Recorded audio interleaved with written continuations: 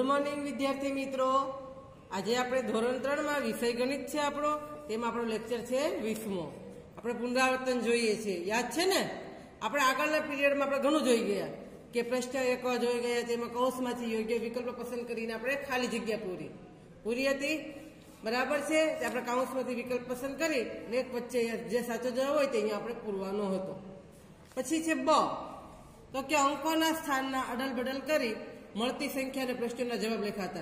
એ પણ આપણને યાદ હશે કે પાંચ, સાત, નવ. તો કે ત્રણ સંખ્યાને આપણે બદલ બદલ રીતે કરે, કેવી સંખ્યાઓ મળે, કેટલી મળે? તે આપણે જોયું હતું કે બે વખત પહેલા પાંચ લખતા હતા, પછી બે વખત સાત લખતા હતા અને બે વખત નવ લખતા હતા. હવે બે વખત પાંચ લખી છે તે આપણે સાત અને નવ લખતા હતા. બાકી રહી તે સંખ્યા લખવાની. પછી તેને બીજા પાંચની બાજુમાં આ સાત નવને ઉલટાવી નાખતા હતા એટલે કે નવ સાત લખતા હતા. આવી રીતે આપણે સંખ્યાઓની અડલ બડલ પણ કરતા શીખી ગયા છીએ. પછી જે સંખ્યા મળી તેમાં આપણે મોટી સંખ્યા પણ જોઈ અને નાની સંખ્યા પણ જોઈ. બરાબર છે? હવે આપણે આગળ વધીએ. તો આપણે આગળ વધીએ તેમાં મણકા ઘોડીને આધારે સંખ્યા લખો છે. તો એ પણ આપણે જોઈ ગયા છીએ કે જેટલા મણકા હોય એટલા આપણે અહીંયા અંક લખવાના રહેશે. ન હોય તે જે મણકા ઘોડીમાં અંક મણકા ન હોય, ત્યાં આપણે ઝીરો લખવાનો રહેશે. ત્યાર પછી આપણે ગયા પીરિયડમાં જોઈ ગયા કે પ્રશ્ન બે સરવાળા કરો. તો આપણે સરવાળા કરવામાં પણ જો જેની સરવાળો કરવાનો હોય તો આપણે શું કરતા હતા કે એકમ એકમનો સરવાળો કરીએ. તેનો સરવાળો આપણો જે જવાબ આવે, જો એમાં નવથી વધારે જવાબ આવ્યો, સરવાળો આપણો નવથી વધારે આવ્યો તો આપણે શું કરતા હતા? તે તો આપણે એને બાજુવાળાને વધી ચડાવતા હતા. બરાબર છે ને? તો સરવાળામાં આપણે શું ચડાવવાનું હોય છે? વધી ચડાવવાની હોય છે. અને પછી જ્યારે બાજુમાં વધી ચડાવીએ છીએ, ત્યારે આપણે સરવાળો કરીએ, ત્યારે વધીને પણ સરવાળો કરવાનો હોય છે. અને આવી રીતે આપણે દાખલાઓ સરવાળાના શીખી ગયા. તેવી જ રીતે આપણે બાદબાકીના દાખલા પણ શીખી ગયા છીએ. શીખી ગયા ને? હા. તો કે બાદબાકીમાં આપણે શું કરતા હતા? કે જો છ માંથી અહીંયા ચાર જાય છે, તો જતા હોય તો દસકો લેવાનો નથી. ખોટા દસકા લેવાના નહીં. જો છ કરતા ચાર, અહીંયા ચાર છે, અહીંયા આઠ હોય તો આપણે દસકો લેવો પડે. કેમ કે છ કરતા આઠ મોટા છે. પણ અહીંયા ચાર છે. એટલે કે છ થી આ ચાર નાના છે. તો નાના હોય નીચેની સંખ્યા, ત્યારે દસકો લેવો નહીં. ખાસ યાદ રાખજો.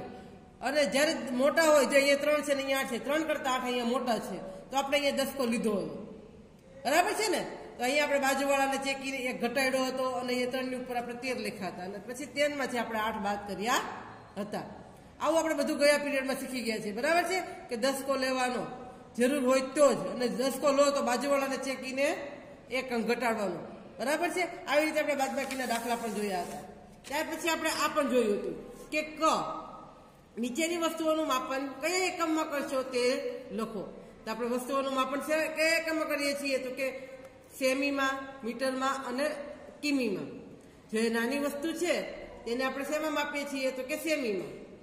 મોટી વસ્તુ હોય એને આપણે શેમાં માપીએ છીએ? તો કે મીટરમાં. અને રોડ કે રસ્તાઓ માપવાના આવે ત્યારે આપણે શેમાં માપીશું? કિલોમીટરમાં. બરાબર છે? તો એવી રીતે આપણે હાથીની કમર મોટી હોય, તો આપણે એને મીટરમાં માપેલું હતું. બરાબર? અહીંયા મીટર લખ્યું હતું. દીવાશાળી નાની હોય છે, તો આપણે એમાં શું લખ્યું હતું? સેમી. બરાબર છે? જેવી જ રીતે રસ્તાઓ માપવાના આવે કે જો ધારો કે જો અમદાવાદથી મહેસાણા વચ્ચેનું અંતર, કે ઘરથી બસ સ્ટેશન અંતર, એ આપણે એના માપવા માટે આપણે શું કરવું પડે? રસ્તાઓ માપવા પડે. તો રસ્તાઓ જ્યારે માપવાના આવે ત્યારે આપણે શેમાં માપીએ છીએ? તો કે કિમીમાં. આ પણ આપણે ગયા વખતે જોઈ ગયા. બરાબર છે? આ વસ્તુ યાદ રાખજો હવે આગળ.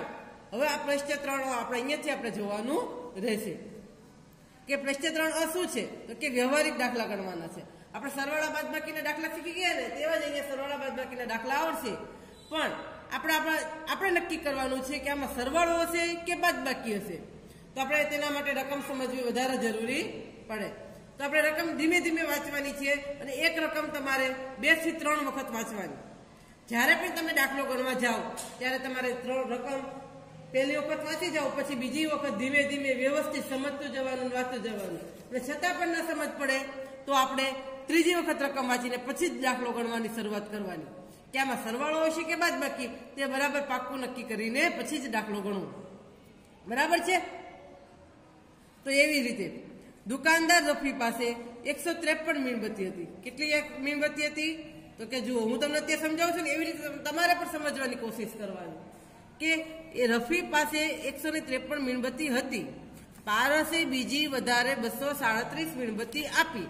હવે રફી પાસે કુલ કેટલી મીણબત્તી થઈ? ચલો, અહીંયા આપણને કીધું કે, ચલો, રફી પાસે ફરીથી હું વાંચું છું જોજો કે રફી પાસે એકસો ત્રેપન મીણબત્તી હતી. અને બીજી વધારે બસો ને સાડત્રીસ મીણબત્તી આપી. તો રફી પાસે વધે ને? કેમ? કે રફી પાસે હતી પાછી એને બીજાએ આપી પારસે એની પાસે મીણબત્તી. તો બરાબર? તો રફી પાસે કેટલી મીણબત્તી વધી ગઈ? વધે આપણી પાસે વસ્તુ વધે તો આપણે શું કરીએ? સરવાળો. અને આપણે એમ પણ જોઈએ છીએ કે હવે રફી પાસે કુલ કેટલી મીણબત્તી થઈ? તો હવે રફી પાસે મીણબત્તી વધી. તો શું કરવાનું આવશે?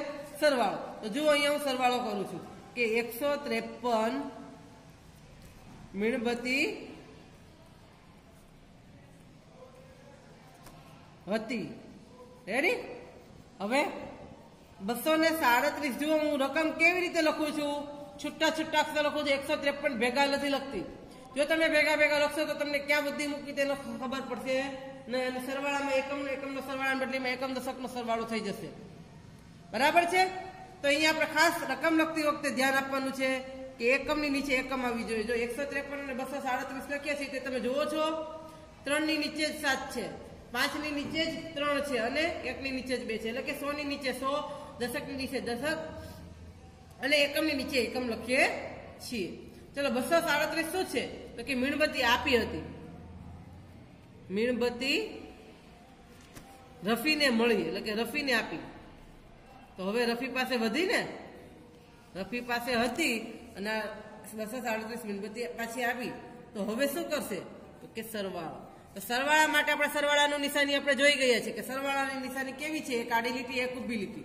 આ નિશાની આપણને ખાલી જગ્યામાં પણ પૂછાઈ શકે કે ખાલી જગ્યા સરવાળાની નિશાની છે તો તમને સરવાળાની નિશાની આવડતી હોય તો ખબર પડે કે સરવાળાની નિશાની આવી હોય છે. એક ઊભી લીટી ને એક આડી લીટી. ક્રોસ કરે. હવે આપણે સરવાળો કરીશું. આ તો આપણે લખી રકમ. બરાબર ને? હવે ત્રણ અને સાતનો સરવાળો કરવો છે. સરવાળાના દાખલા આપણે શીખી ગયા. હવે ચાલો તમને આવડતું હશે કે ત્રણમાં સાત ઉમેરો તો કેમ થાય? તો ત્રણ તો આપણે ગણેલા જ છે. ક્યાંથી શરૂઆત કરીશું? તો કે ચારથી. અને ક્યાં સુધી ગણીશું? તો કે સાત સુધી. બરાબર છે?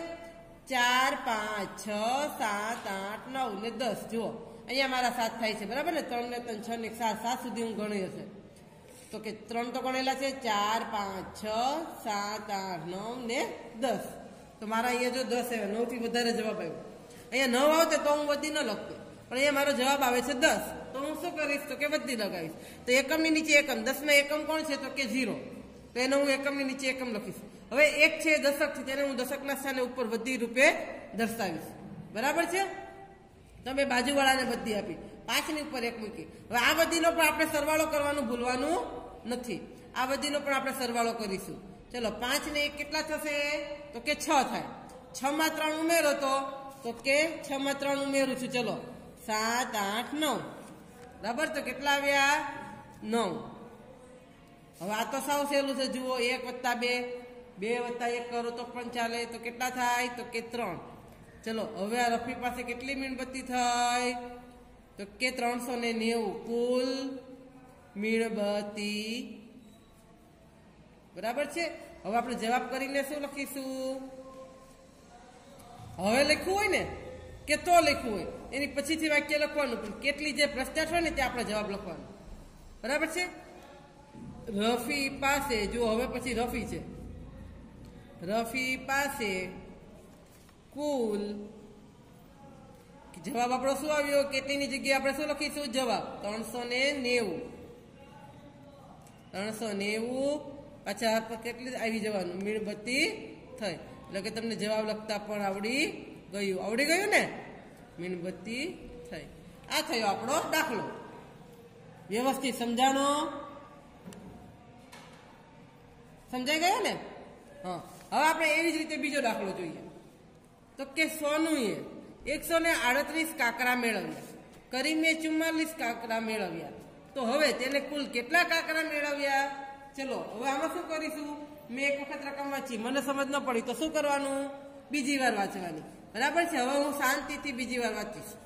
તો કે સોનુએ એકસો આડત્રીસ કાંકરા મેળવ્યા છે. ચલો, સોનુ નામની એક છોકરી છે તેને એકસો આડત્રીસ કાંકરા મેળવ્યા છે. બરાબર? હવે એને કરીમે ચુમ્માલીસ કાંકરા મેળવ્યા છે. તો હવે તેમને કુલ કેટલા કાંકરા મળે એટલે કે બંનેનો સરવાળો કરવો પડશે. કેમ કે આપણે કુલ કેટલા કાંકરા મેળવ્યા એમ કહ્યું છે. તો આપણે અહીંયા આપણને ખબર પડી ગઈ કે હવે અહીંયા આવશે સરવાળો. ખાસ ધ્યાન આપજો. અહીંયા હું લખું છું. એકસો આડત્રીસ કાકરા કોના? કાકરા સોનું એ મેળવ્યા. આપણે આવી રીતે વ્યવસ્થિત લખવાનું, એટલે આપણે એક રકમ ભૂલાય ન જાય. બરાબર છે? એકસો આડત્રીસ કાકરા સોનું એ મેળવ્યા. ચલો, હવે ચુમ્માલીસ કાકરા કોને મેળવ્યા છે? તો કે કરીને તો આપણે ચુમ્માલીસ કેવી રીતે લખીશું? આ રકમ લખવામાં ખાસ ધ્યાન રાખજો. એકમની નીચે એકમ લખવાનું છે. સોની નીચે જો સો ચુમ્માલીસ લખશો તો અહીંયા તમારું આ ખોટું પડશે. આપણે એકમની નીચે એકમ, એકમથી શરૂઆત કરવાની છે, આઠની નીચે ચાર અને દશકની નીચે ચાર. એટલે આપણે ચુમ્માલીસ ગયા એકની નીચેથી ચાર લખવાની શરૂઆત કરવાની નથી. નહીતર આપણો જવાબ આવશે ચારસો ને ચાલીસ થઈ જશે. બરાબર? તમે અહીંયા ચુમ્માલીસ લખો તો તેની એકમ ન આપ્યો હોય તો એને ઝીરો સમજવાનો.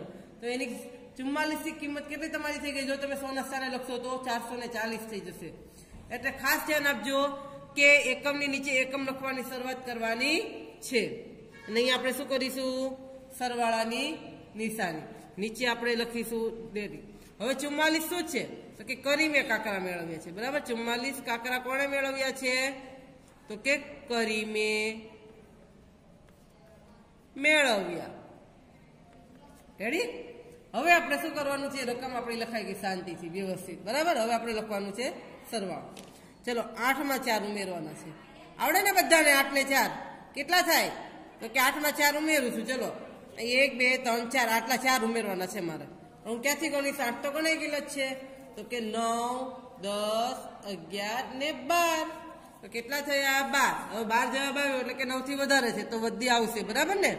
બે અંક આવે ત્યારે વધી આવે. તો કે આઠ ને ચાર બાર નો બગડો વધી એક. હવે આપણે આનો સરવાળો કરીશું. બરાબર? બધીનો સરવાળો કરવાનો રહેશે. ત્રણ ને એક કેટલા થાય? તો કે ચાર. ચાર ને ચાર, તો કે આઠ થશે. બરાબર ને? ચાર ને ચાર કેટલા થાય? આઠ. તમે અહીંયા લખ્યા આઠ. હવે આ એકની નીચે કશું નથી, તો આપણે શું લખીશું? એકનો એક. અહીંયા કશું ન હોય એને આપણે ઝીરો સમજવાનું હોય. તો કે એક ને ઝીરો કેટલા થાય? તો કે એક જ થશે. તો આપણને કેટલા કુલ કાંકરા મળ્યા? તો કે એકસો ને બ્યાસી. વધતા આવડે ને? આઠડે બગડે બેસી થાય, પણ સોના સ્થાનમાં એક હોય તો એકસો બોલવાના હોય. એટલે કે કુલ કાકરા. કુલ કાકરા કેટલા થયા? તો કે એકસો ને બ્યાસી. તો હવે જવાબ નક્કી કરીને શું લખીશું? જવાબ કરીને લખીશું, તેમણે, હવે પછીથી લખવાનું, તેમણે કુલ કેટલા કાંકરા મેળવ્યા? એ લખવા જવાબ આવ્યો, કેટલાની જગ્યાએ જવાબ લખવાનો? રહેશે એકસો ને બ્યાસી કાંકરા મેળવ્યા. બરાબર છે?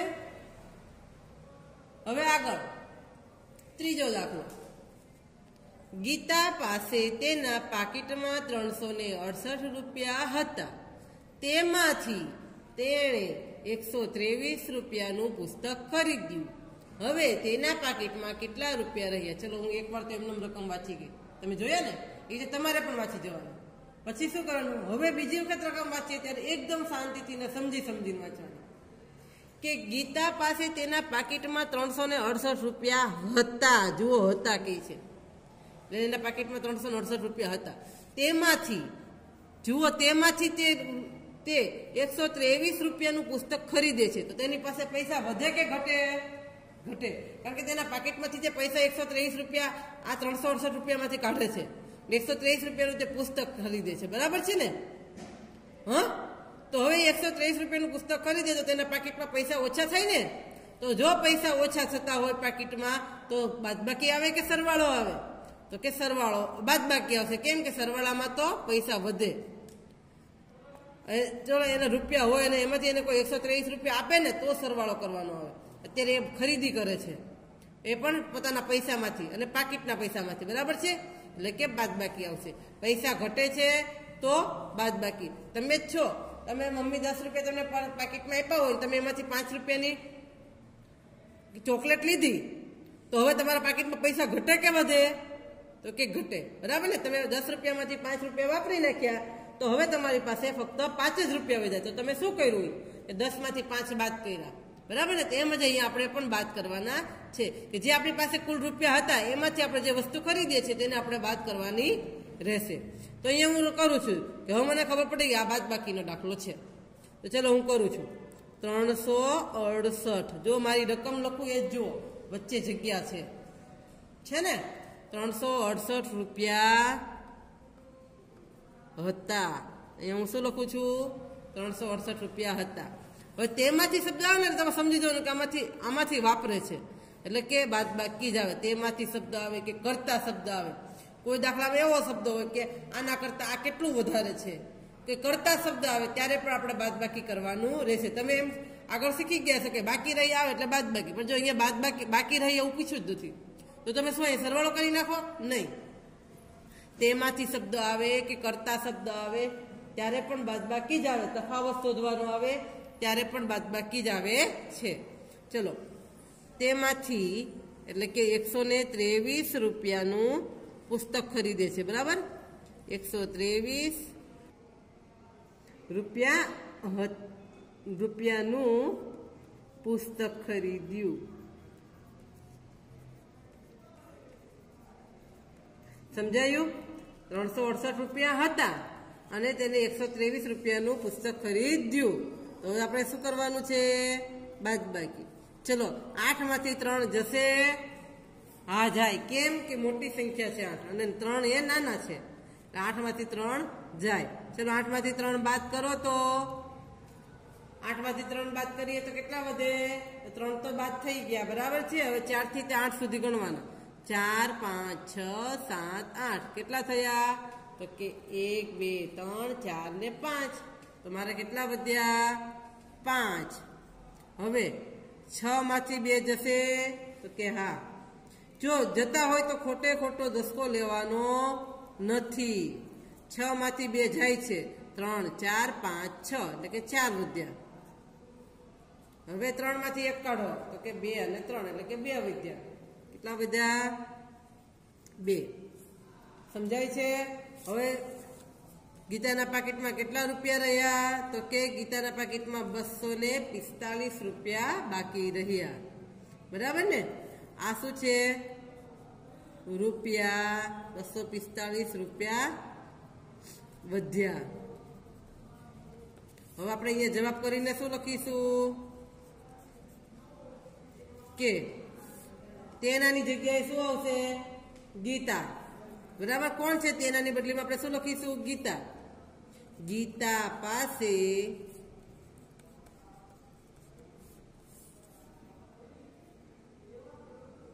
પાકીટમાં પાકીટમાં કેટલા રૂપિયા રહ્યા? જવાબ શું આવ્યો? તો કે બસો ને પિસ્તાલીસ રૂપિયા રહ્યા. આપણો આવ્યો જવાબ. બરાબર છે? તેવી જ રીતે ચોથો દાખલો. નમન. શું છે? નમન. આઠસો રૂપિયા લઈને શહેરમાં ગયો. ત્યાં તેણે છસો સાત રૂપિયાનું જીન્સ પેન્ટ ખરીદ્યું. એટલે કે લીધું. આ પછી તેણે પાસે હવે કેટલા રૂપિયા બાકી રહ્યા? ચલો. અહીંયા તમને ખબર પડી ગઈ હશે. બરાબર ને? હજુ હું બીજી વાર વાંચીશ. આ એક વખત તો હું વાંચી ગઈ, રકમ હંમેશા બેથી ત્રણ વખત સમજી સમજીને વાંચવાની રહેશે. હું બીજી વાર વાંચું છું, તમે જુઓ. નમન પાસે આઠસો રૂપિયા હતા, એટલે કે શહેરમાં લઈને ગયો હતો. પાકીટમાં લઈને એટલે શહેરમાં આપણે જઈએ તો આપણે પાકીટમાં લઈએ ને પૈસા. હા, આવું થોડુંક આપણે માઇન્ડ ચલાવવાનું. બરાબર? કે નમન આઠસો રૂપિયા લઈને શહેરમાં ગયો. ત્યાં એને શું કર્યું? તો કે ત્યાં તેણે છસો ને સાત રૂપિયાનું જીન્સનું પેન્ટ લીધું. બરાબર છે? તો હવે તમે પૈસા લઈને દુકાને જાઓ અને તમે કોઈ વસ્તુ ખરીદો, તો તમારી પાસે પૈસા વધે કે ઘટે? તો કે ઘટે. બરાબર ને? તમે પૈસા વાપરો તો શું થાય? ઘટે. અહીંયા એને છસો સાત રૂપિયાનું પેન્ટ લીધું છે, તો હવે તેની પાસે પૈસા ઘટે ને? તો શું આવશે? બાદ બાકી તો કે ચલો આપણે રકમ લખીએ. રકમ હંમેશા આઠસો ઓછા આઠસો રૂપિયા હતા ને? તો અહીંયા આપણે લખીશું આઠસો રૂપિયા હતા, નમન પાસે હતા, બરાબર? તેમાંથી તે કેટલા રૂપિયાનું પેન્ટ લે છે? તો કે છસો ને સાત રૂપિયાનું. તો આપણે તેમાંથી છસો ને સાત રૂપિયા બાદ કરીશું, બરાબર? છસો સાત રૂપિયાનું જીન્સ લીધું. બરાબર છે? લીધું. પૈસા હતા, એમાંથી લીધું એટલે બાદબાકી થાય. તો બાદબાકીની નિશાની કેવી હોય? આડી લીટી. બાદબાકીની નિશાની કેવી હોય? યાદ રાખજો સરવાળાની અને બાદબાકીની.